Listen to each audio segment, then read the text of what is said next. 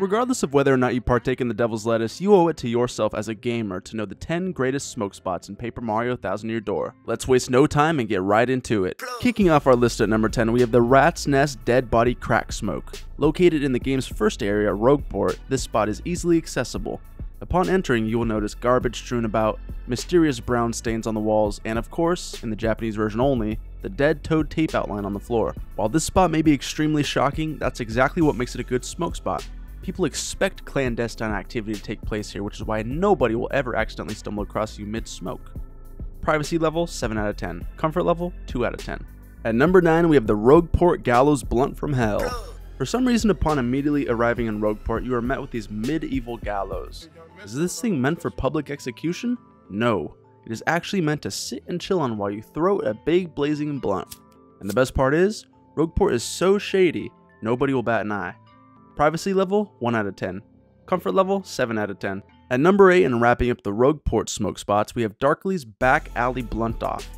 Cleverly hidden behind a wall in East Rogueport is perhaps the list's most private spot, Darkley's Back Alley. Here you can find some garbage scattered about, miscellaneous sized crates, empty bottles, roaches, and of course, Darkley himself. Sit back and share a hot green one with Darkley as you soak in the city's sinister energy. Privacy level 10 out of 10. Comfort level 6 out of 10. Number 7. Chiefing and Keefing at the Creepy Steeple. In Chapter 4, you travel to perhaps the game's spookiest location, the Creepy Steeple. Once you get past the fact that there is an identity stealing demon from hell in the building behind you, you'll be rewarded with an extremely comfortable smoke spot. A huge yard surrounded by big strong trees with a beautiful full moon above, this spot is one of the most relaxing on the list. Privacy level 7 out of 10. Comfort level 8 out of 10. Following up Creepy Steeple, at number 6 we have Doopliss's Crack Den Cookout. Atop the Creepy Steeple lies its owner and only inhabitant, Doopliss.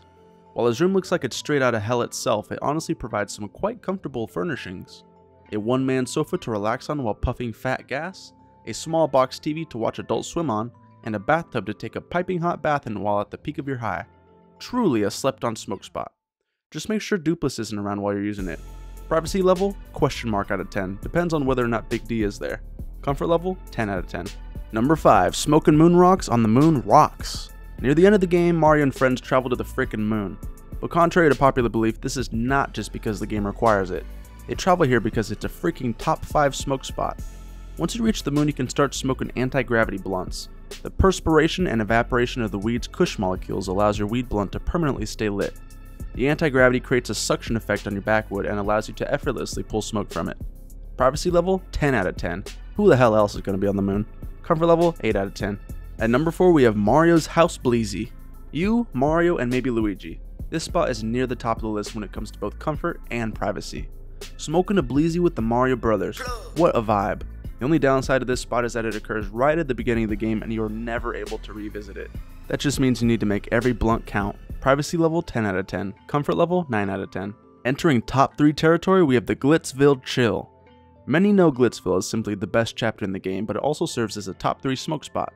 Unmatched energy, vibrant colors, hot dog stand, bar, and more. What else could a smoker ask for? If you're looking for privacy, this may not be your spot, but as far as comfort goes, Glitzville has it all and more.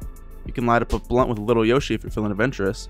Privacy level 3 out of 10. Comfort level 9 out of 10. At number 2, we have the Boggly Woods Backwoods. This spot should come as no surprise. Boggly Woods is one of the most beautiful and relaxing spots in the entire game. Gorgeous white trees, ethereal music, and a partner that will make smoking even more enjoyable, Flurrie. She can blow real good, roll blunts like a pro, and you know, whatever else comes to mind. If you're looking for a solid rotation of smoke partners, you can also include some punies in the mix.